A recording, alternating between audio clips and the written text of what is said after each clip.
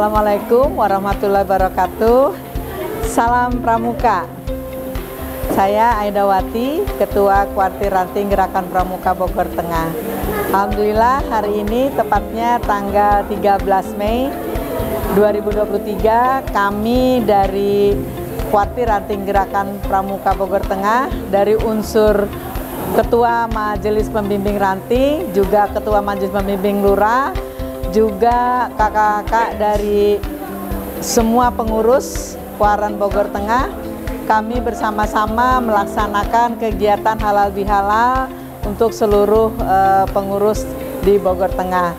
Hari ini acara halal bihalal itu dihadiri oleh Pak Ustadz Didin Bahrudin luar biasa. Beliau menyatakan bagaimana halal bihalal itu intinya adalah untuk kita saling bersilaturahim saling bertemu untuk saling memaafkan.